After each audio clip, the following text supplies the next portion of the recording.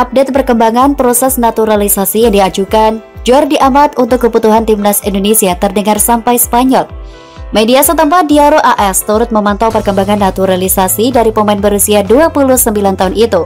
Pada berita yang ditulis pada Kamis 10 Februari 2022, Diario AS mengambil judul Jordi Amat semakin dekat bermain dengan Indonesia. Media ternama Spanyol itu menjelaskan, proses naturalisasi Jordi Amat hampir menjadi kenyataan karena mendapatkan restu dari pemerintah Indonesia.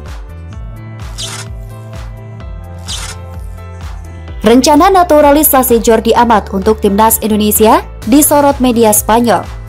PSSI dan pelatih Sintayong sudah menghadapi Menteri Pemuda dan Olahraga Zainuddin Amali untuk membahas proses naturalisasi Jordi Amat dan Sandy Walsh. Zainuddin Amali memberikan restu dan lampu hijau agar prosesnya dilanjutkan dan segera diselesaikan. Menteri Pemuda dan Olahraga Republik Indonesia, Zainuddin Amali membeberkan proses naturalisasi back tengah asal Spanyol itu sudah berada di jalur yang benar. Tulis mereka. Jody Amat dan Sandy Walsh disebut memenuhi secara syarat dokumen dan kemauan untuk berganti kewarganegaraan menjadi Indonesia. Keduanya diharapkan bisa menjadi tambahan amunisi buat timnas Indonesia. Percepat proses. Menteri Pemuda dan Olahraga Zainuddin Amali tak bisa memastikan durasi yang dibutuhkan untuk menyelesaikan proses naturalisasi Sandy Walsh dan Jordi Amat.